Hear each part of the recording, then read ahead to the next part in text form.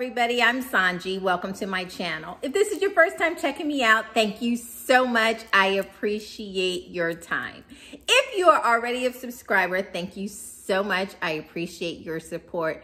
And a special shout out to my regular commenters in the comments section. Thank you so much for sharing with each other.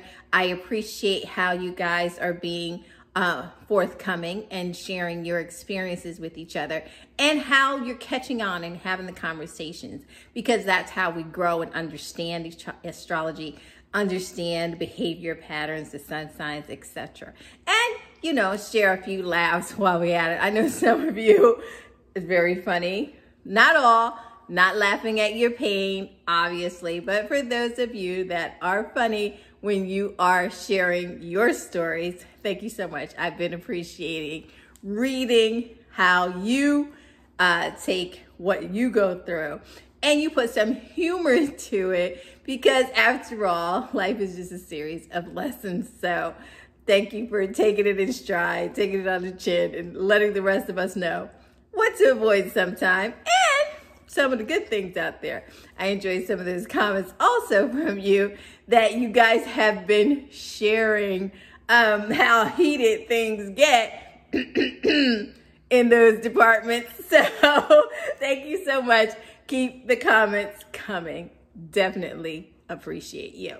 Now, if you haven't done so already, please like, share, and subscribe my cha- to my channel. Let other people know about it. I appreciate it, but so they can come on and they can learn some things and they can share as well. Alrighty, so let's get into it because everybody always gets nuts about me having to take care of the business of inviting you to the channel, thanking you for uh, subscribing, thanking you for your time, but that's just who I am. I appreciate each and every one of you. I am grateful for you and I will always take the time to say thank you. So there you have it. On with the video. So in this video, we are going to talk about the three zodiac signs that break up with you so easily and they get over it as those instantaneous. Yeah. there are people out there that are like that. Um, now, for the rest of us, most of us, going through a breakup is a difficult time, right? Mm, if you were invested in this thing, um, it can be tough emotionally. But, you know, there's that period where it's normal for people to feel some type of way about a breakup. But pining after an ex long after relationship has ended feels like a special kind of hell and I have a video for you for those sun signs that have a little bit more difficulty breaking up with people than the norm.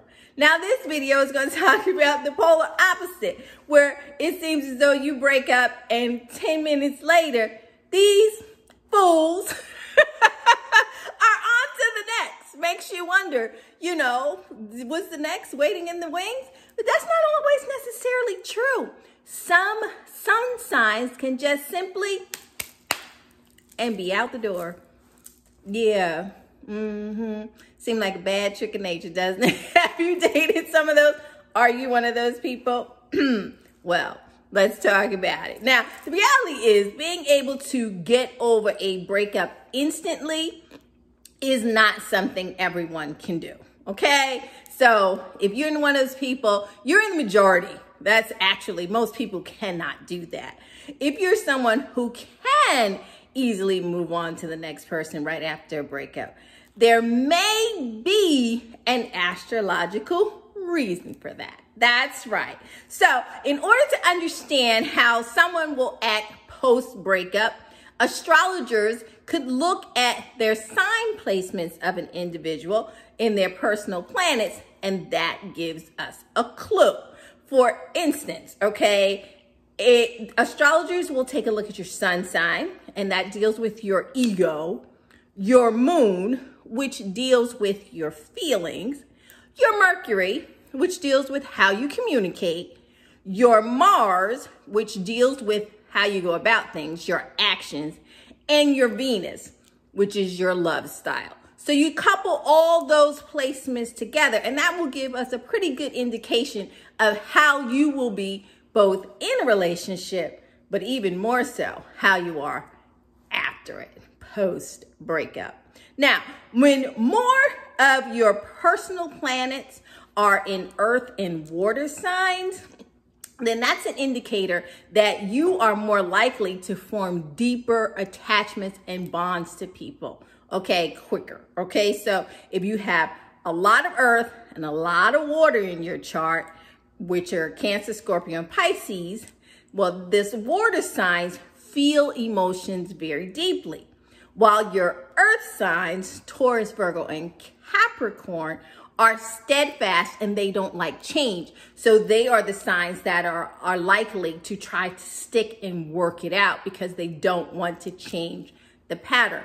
Yes, being in a relationship causes a routine. It's a love pattern. So the earth signs don't like to disrupt it, especially if they're not the ones trying to end the relationship. Now, many times these signs will hang on to relationships long after they're due. And again, if you want to know what those signs are that do that the most, I have a video that discusses that. But here we're going to talk about how when someone's Mars, Venus, or moon is mostly air or fire signs, so if they have a lot of that in their chart, then they can be those people that experience less attachments in relationship, also known as they can move the hell on quickly. yeah, they get the hell on, excuse my language, very quickly. They are the ones all right, we're done. so if you have a partner that has a lot of air and a lot of fire in their chart, don't be surprised if they are the type of people that post breakup, they're out of there, okay? So air signs rationalize their emotions with thought more than intensely feeling them. So even if they feel a lot of love, and they do, people, air signs get a real bad rap saying they never feel anything. That's not true. Air signs fall in love just along with the rest of them. However, if they can rationalize why you are no longer good for their life, that's that's their go-to. They're gonna go there first, alrighty? And just like with fire signs, they have the ability to just cut and run. they can blaze forward from the past with optimism. A fire sign will say, well, hey, didn't work out, baby. Gotta go. Again, yes, fire signs fall in love. Yes, fire signs try to work out their relationship, but you know, when you put the writing on the wall, if you say it's over, fire signs are out of there. All right? so, what we're going to talk about is that, believe it or not, there are three signs that can cut and run like the champions. They are the top three that when the relationship is over, gosh, you may not have even finished your goodbyes. And these signs are out of there. So I'm gonna let you know what three signs those are coming up after this. You got your predictions? You think you know who the three top three are? God, I hope you didn't date him. But if you did, leave it in the comment section. We'll talk about it. Top three signs that break up lightning, like lightning, coming up right after this.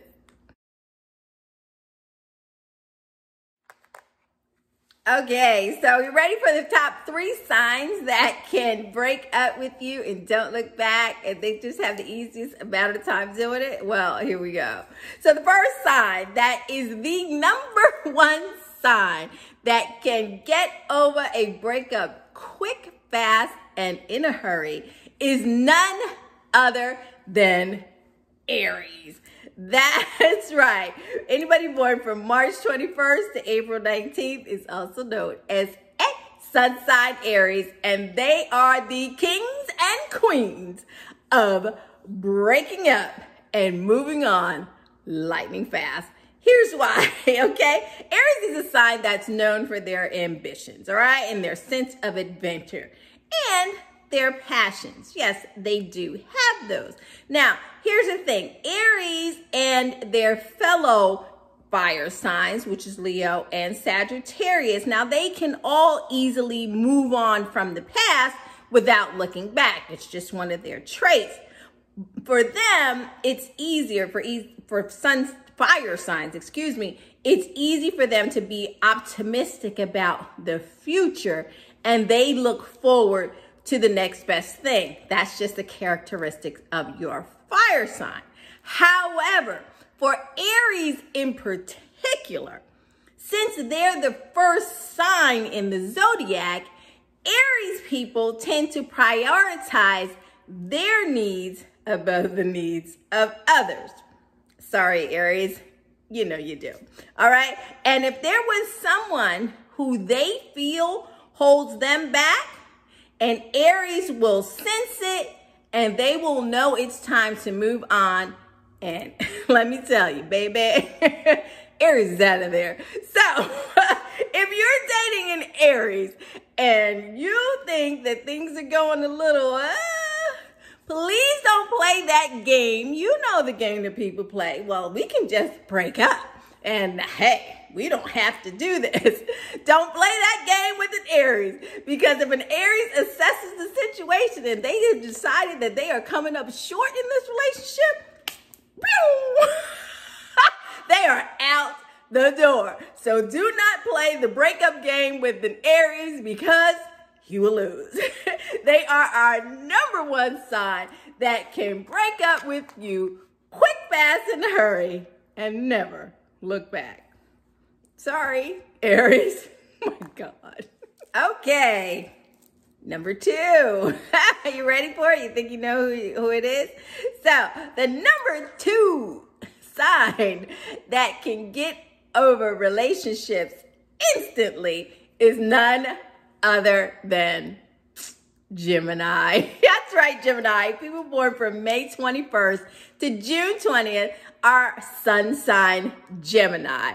And Gemini is an air sign known for being social butterflies, and the gift of gab. Okay. Geminis typically have no problem getting out there and meeting new people. So it's easy for them to quickly move on after a breakup. Okay. As Geminis love to bounce around from place to place, meeting new people all the time.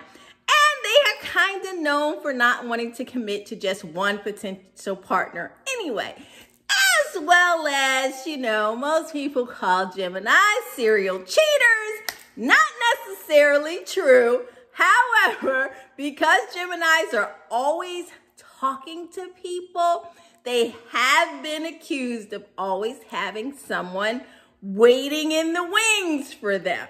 So if you go to break with the Gemini, it's not going to be too painful because they probably got one, two, or four suitors waiting to take your place. Hmm, sorry. Just getting a Gemini to commit in itself, to, to, do it forever, isn't exactly an easy task. You already know that. So the, if the Gemini has committed to you, then chances are they're in it to win it. However, if a relationship doesn't work out, the Gemini is not going to spend too much time being sad before they float on to the next interesting person. So if you're in a relationship with a Gemini and you guys kind of break up and you think that you're going to give it like three weeks for everything to calm down, you might want to reconsider that type of thinking with the Gemini because in three weeks, they probably got a new partner. So you want to up that time chart to probably about two or three days. and you want to get back in there and talk to your Gemini, okay? Because you know, you tell a Gemini, I think we should break up for a little bit and have a little time for ourselves. Yeah, Gemini's gonna agree with that because um, they probably got something else or somebody else they want to talk to.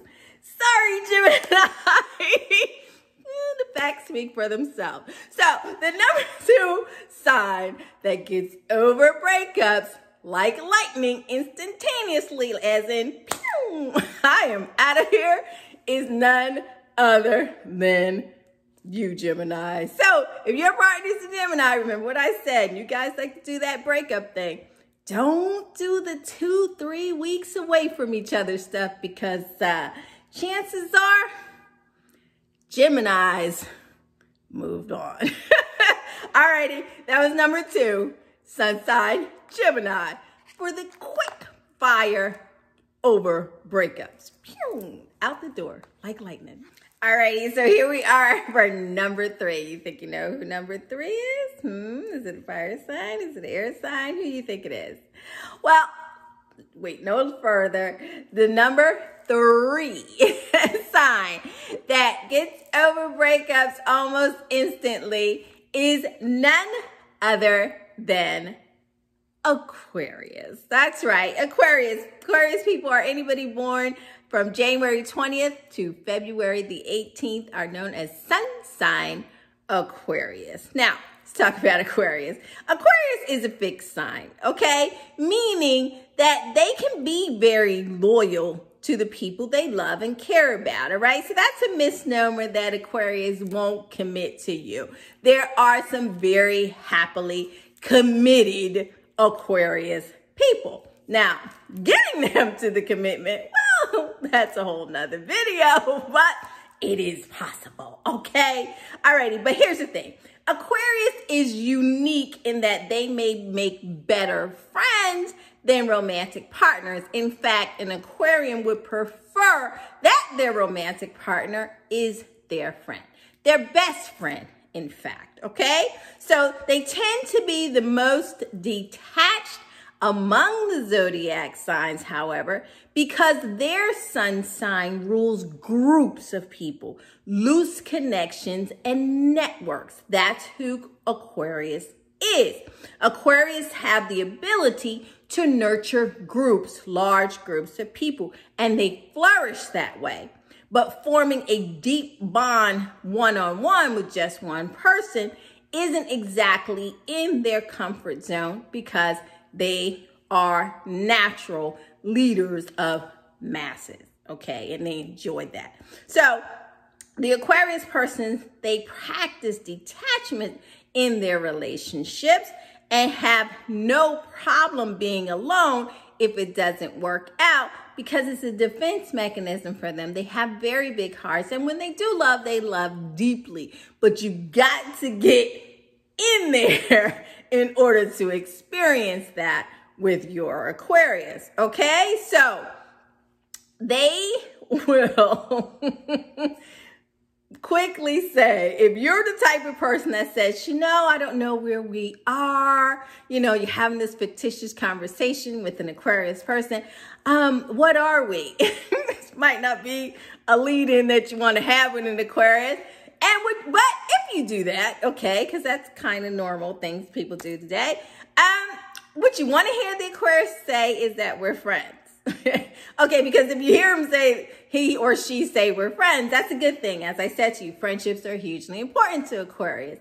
However, if they don't say much and you say, so, you know, I, you continue on with this line of questioning and probing, and you say to an Aquarius, well, I think we're better off with friends. Well, hey, listen, I don't, I hope you meant it because they're going to take that deal and they're going to sign on the contract and they're going to say, you're right, I'm out of here. Okay? Aquarius, I know we're doing that. You know I'm telling the truth, Aquarius. So you don't want to play that game with Aquarius. You don't want to play the maybe we're better off as friends game because the Aquarius will say, you're not even my friend, but okay, bye. you Aquarius can be cold. You can be cold out there in those streets, but it is true. So the Aquarius, because they can be detached and they can get themselves in that mind frame very quickly. Um, yeah, they came in as number three for the do not mess around and play the breakup game with the Aquarius. Well, first of all, did you get the Aquarius to commit to you? Because if you did, you're ahead of the game, honey. Hang on. But if you didn't, and uh, it's not looking like you're going to, please, whatever you do, don't play the breakup game with the Aquarius because the Aquarius is going to snatch that contract from you. Say, yes, indeed. Yep, yep, yep. I'm out. Maybe not as fast as the Aries, Aries or the Gemini, but uh, yeah, there'll be lightning speed behind that Aquarius. So anyway, that's number three. The number three sign that can get over a breakup lightning speed is none other than Aquarius. Alrighty, so those are the three sun signs that can get over breakups quite easily. Now, of course, there are exceptions to the rule and there are other factors involved. And this video is pretty much tongue in cheek, although very true. but it'll give you an indicator of why your mate possibly moved on really quickly um, post breakup. So, and it can also give you an idea of the type of person that you are that, geez, why do I get over relationships so quickly? Mm. Maybe because you're one of those three signs, right? So, of course, there are a lot of different factors that can determine how long it takes for someone to get over a breakup. However, if you're looking for astrology, if you look to astrology for some answers, your birth chart can reveal a lot about how you love and bounce back after a breakup. If you'd like to know more about what your birth chart has to say about you, you can go to my website, www.sohnjee.com, and you can set up a consultation where we can talk about everything in depth, one on one, and I can explain what's happening in your birth chart, what it looks like as ahead for you, and we can talk about some things that your chart indicates happened behind you and perhaps talk about where those things lead you as far as love and career and uh, friendships and all kinds of wonderful things. So go to www.sohnjee.com if you would like more information and would like to understand your birth chart further in depth. Thank you so much for watching. If you haven't done so already, please subscribe to the channel. Don't forget to hit the bell so you can be notified when I upload new content. As always, leave your comments in the comments section because I'll see you there and we can talk about more about those three signs that are lickety split breaking up with folks. And if you are one of those sun signs and you've done that, share it below. Or if you've been with one of those sun signs and they've done it to you, let's hear about it. Alrighty, until next time, take care of each other. I'm Sohn Jee.